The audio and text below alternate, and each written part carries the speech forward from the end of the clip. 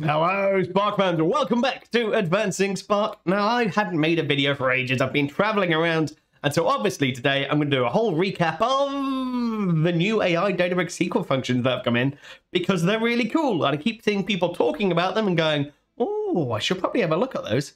So I've finally had a chance to take a look. So what we have is a load of foundation models that are now plumbed into Databricks. What does that mean? Well, you know those big off-the-shelf models like ChatGPT, those big large language models that are hosted somewhere else that cost a huge amount of money and a huge amount of things to make, and actually you just want to call a web service and use them rather than build your own thing, because not everything has to be rebuilt from scratch.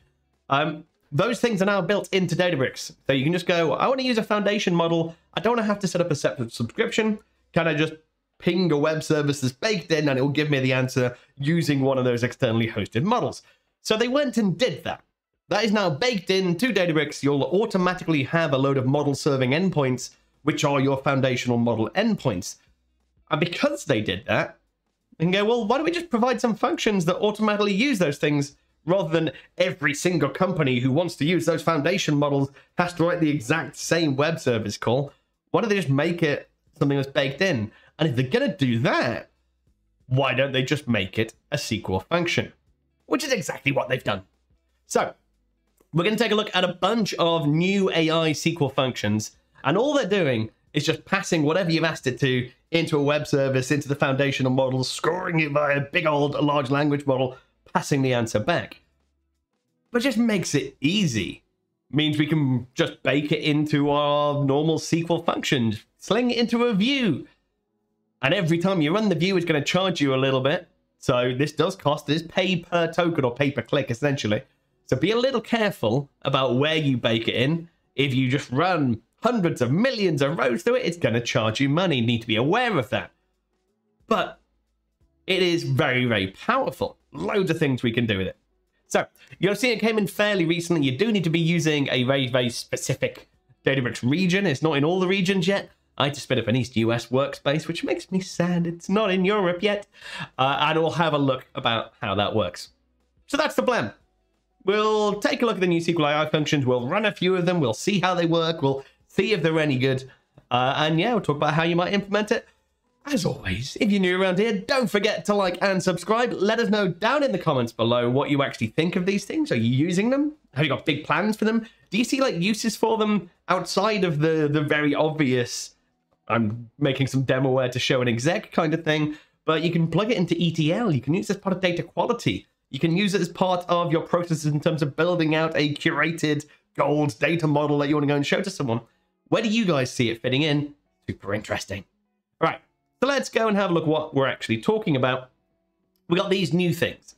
So AI functions that are using Databricks Foundation model APIs, bunch of things. So sentiment analysis, an age-old example of, oh, a great thing AI can do, automatically give it some text and it'll say, is that positive or negative? Uh, classifying things, saying, here's a group of stuff, can you please classify this to me? And it'll go, well, they're in that group, they're in that group. Extracting certain terms. Term extraction has been a massive part of document cracking for years and years and years. So the ability to go, well, here's a big chunk of a document, can you just pull out like a person's name or the email address or the thing that they're referring to or the object that's being negotiated to in this legal clause. Whatever you fancy. Fixing grammar. Hey, here's a big chunk of text. Can you make it so it actually sounds right? Like a, a, a real normal person wrote it? Yeah, it did. I mean, so many things that you can do with this stuff. Data masking is baked in there under AI mask. Similarity detection. Loads and loads of stuff. And then on top of this, you do have the straight AI query, which is the I just want to sling a prompt. Allow me to sling a prompt in and then poke it against a foundational model, and that gives me absolute free form about what I'm going to do it. But it's these very, very task-based ones that are actually super, super interesting. So I've grabbed a, a bunch of them, slung them into a notebook, and we can just have a bit of a play about how that works. Limits first. So you've got this, because it uses the foundational model APIs, then foundation models APIs have to be available in the region, in the Databricks region where your workspace lives. It also has to be pay per token. So for that to work, you have to have a little X in your box down here, and there aren't many of them currently. It's fairly, fairly new. It's just being rolled out. So central US, east US, east US 2, north central US. That is it. For Europe. but it's fine. Again, it's new. We can try it out. We can test it out and see how it is actually working. So, yeah, bear in mind you might not see this working in your workspace unless you are one of those very, very specific ones that have been enabled as a pay per token user for foundational model APIs. If that is all right, then absolutely we can go and have a play. So I've got my Databricks workspace here. I've got a quick notebook that I've spun up. Um, let's just, again, let's just have a quick play, make sure everything's working. Go, hello. So, easy one, sentiment detection. I am a happy Sparky boy. I once referred to myself on stage as a big old Sparky boy, and I'm never going to live it down. So I might as well just share it with everybody. Is that positive or negative? Well, shockingly enough, that is a positive sentiment. The person who wrote that, pretty happy about things because they've said, I am happy. That's that's pretty good. Now, that on its own, not particularly amazing. Um, but when you actually start looking at that as, as at scale, and you start actually looking at things, it starts to get interesting. That on its own, saying, I want to send one, one token, I want to get one response, I could just call it an API for that. I could just wrap that in a web service. The nice bit is when we can start doing it in some kind of set-based query. So I can come down and I've got my user feedback here. So I've got five different users that have asked for feedback, and I've got a variety of interesting responses. Loved it. It was well good. You get me? Very, very London. Uh, that was banging. I've got the guy at bare rizz, which, you know, you need to be well up on your Gen Z slang to understand. Uh, better than a slap with a wet fish. A little bit of sarcasm. And I'd give it a 5 out of 7 perfect score, which is a very niche Reddit joke. So, bunch of things, all generally positive. Uh, and interesting to see how it actually understands the nuance of language, right? Not straightforward. So I am happy. It was good. So we get that back and we see loved it. It was well good. You get me? Positive. Yeah, good. That was banging. Yeah, that's positive. The guy had bare rizz, which you know, if you if you're down with the kids, you know, I mean, the the guy was very very charismatic. That is positive. And I just think it's neutral. Not amazing. Doesn't necessarily understand the latest slang. I give it a 5 or 7 perfect scores, positive. Better than a slap with a wet fish is positive. Although probably the most neutral positive, but a very, very British understated positive. But it's all pretty good. It's worked out. These are all generally good things it's saying. What I think is slightly hard with that one is the fact that it is a... gives you three responses. It's either negative, neutral, or positive. Normally with sentiment, it's good to get it. Uh, this is a 0.65, this is a 0.8. You know, so you can decide your own boundaries of actually how you're doing that stuff. But even so, the ability to have a giant table of different responses and just go, just just do sentiment analysis and all of it, that's nice. That's easy. We've been able to do it by having our own models specifically built for that kind of thing, but it's nice not having to have to build them. But then we can get slightly, slightly more advanced. We can play with this stuff. I've got some very weird sentences people have said. So why don't we go and slap that into a fixed grammar? So loved it. It was well good. You get me. How's it going to fix the grammar for that? Uh, the guy had bare rizz. Is that grammatically, uh, syntactically correct? And we can just run the same thing. We can just switch over, use one of the different AI functions that we're using, and just passing that text column into there as my parameter. I'm getting it back. Okay, loved it. It was well good. You get me? Loved it. It was very good. Do you understand? There we go. We're in. We're in good received pronunciation, as we call it uh, over in uh, Britland. Uh, it is uncensored, uh, our swear word, so you know that is apparently not grammatically correct to have uh, swearing. The guy had bare rizz is apparently grammatically correct. Who knew? Uh, it's corrected my scoring system. It's now 5 out of 5 perfect score, and better than a slap with a wet fish is perfectly grammatically correct. Now, I like that. So, yes, no, some of the slang, it, it could have said that's not grammatically correct, but that depends if you think slang is. Uh, but it's managed to take something that was that made sense to an English, certainly a London person, uh, and then it's turned into something that's that's actually fairly understandable. So actually pretty successful. So a bunch of those things, fixing grammar, definitely an interesting one. Definitely one you don't see very often in a lot of the age-old cases. Sentiment score's been around for years. We're doing demos of that for years and years and years. Saying, take this sentence you've never seen before and fix the grammar of it.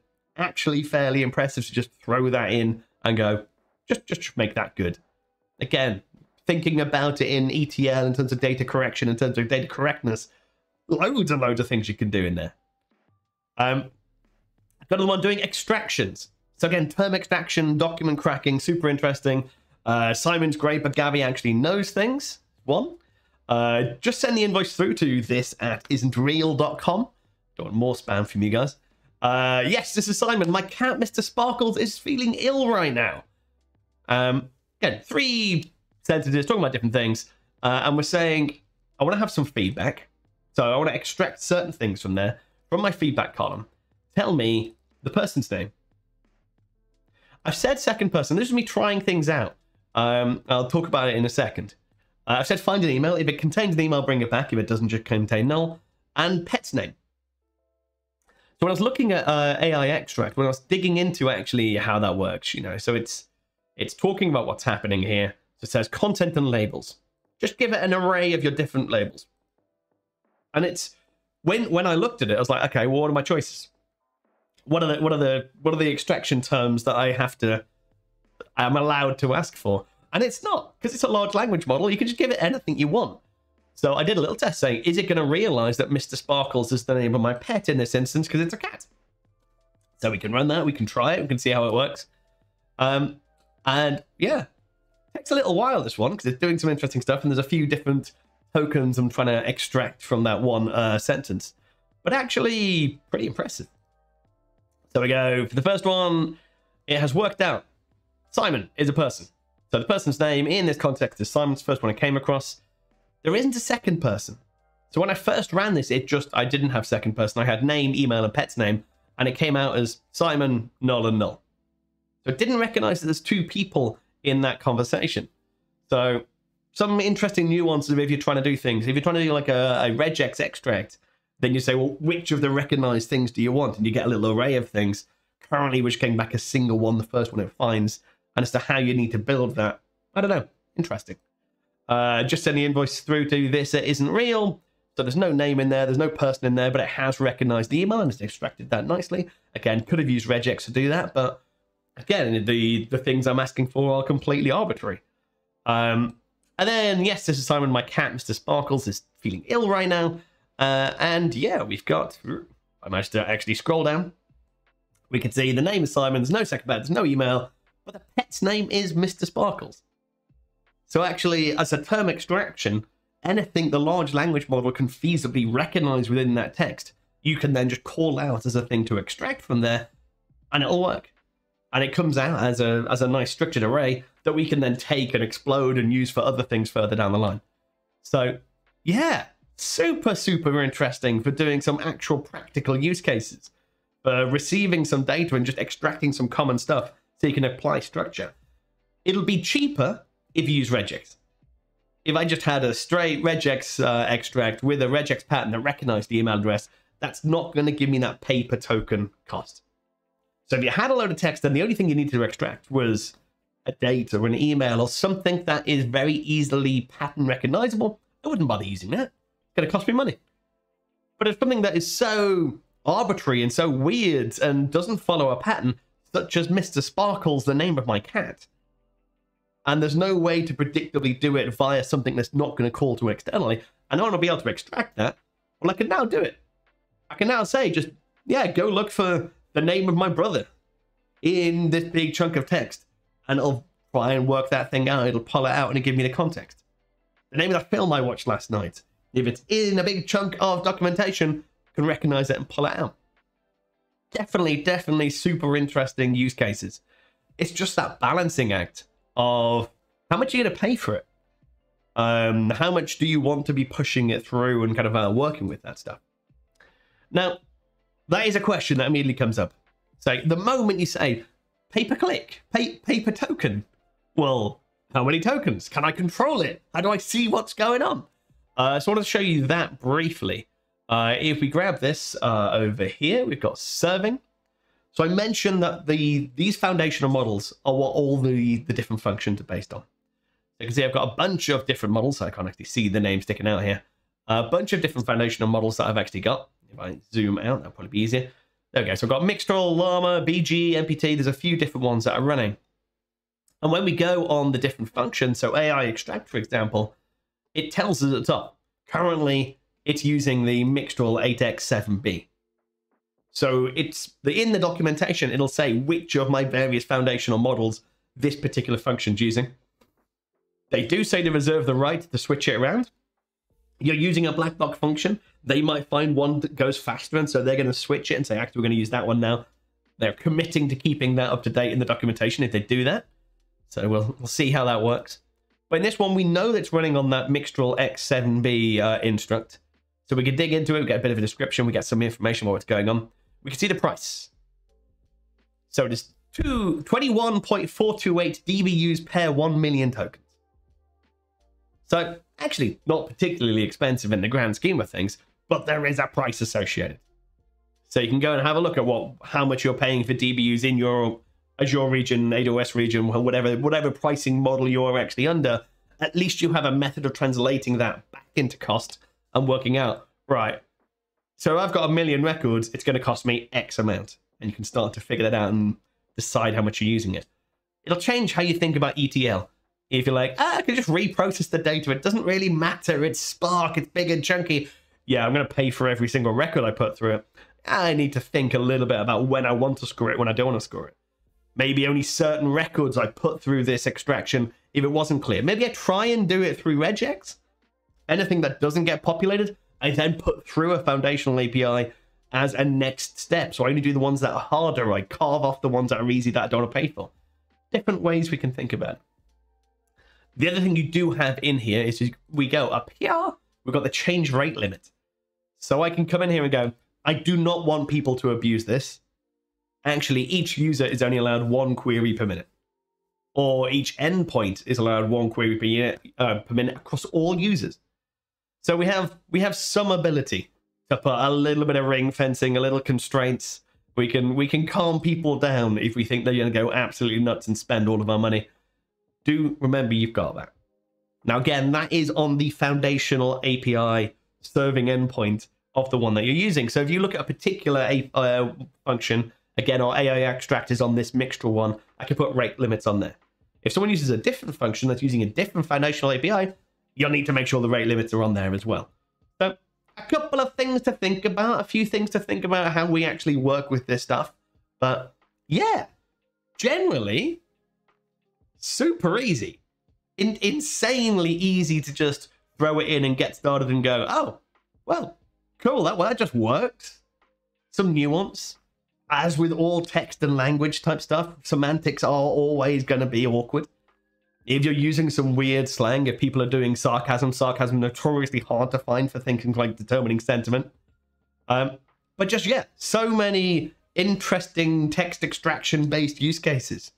So many people out there in the world telling you you have to buy a specialist text analytics tool to be able to do anything. Well, you don't. You're going to bake this stuff into your normal ETL, push everything through, call it as a SQL function, have a special view that does it in the SQL function for your translations when you're putting things out, but don't make it translate it every single time because you're going to pay per click. Don't expose this behind a dashboard. Madness. Yeah. Interesting things. So go check them out. Again, only if you've got a workspace in those supported regions in the US. Uh, hoping we'll see them at any point that's got any of the normal, uh, the um, reserved um, foundational APIs. We'll just see those pay per token ones start to appear. But yeah, no, super interesting. Go, go have a play, go explore, see what you can find, see if you can trick it, see how wrong it gets things, see how much it impresses you that it actually gets things right at scale with large amounts of data. Yeah. Anyway, as always, don't forget to like and subscribe, and I'll catch you next time. Cheers.